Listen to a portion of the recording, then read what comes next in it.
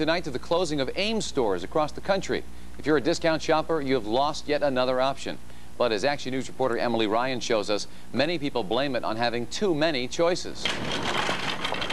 As they leave with carts full of deals, many shoppers at this Ames and Robinson Town Center still can't believe it's closing.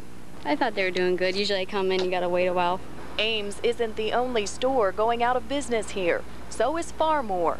Nearby, a Kmart Supercenter remains open, although other Kmarts have closed. That's all we went to is Ames and Kmart.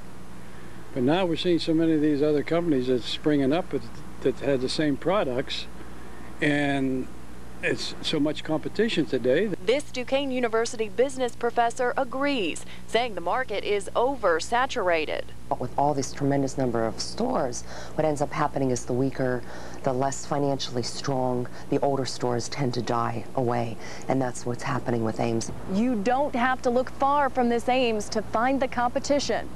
Walmart, Target, Sam's Club, and Costco, all luring away customers. I'll go where I have to go to get what I need, I guess. We as Pittsburghers shouldn't panic. It is a national trend, and I think we're going to get down to keeping the stronger, more financially viable, the stores that offer us better prices and better merchandise. In Robinson Township, Emily Ryan, Channel 4 Action News.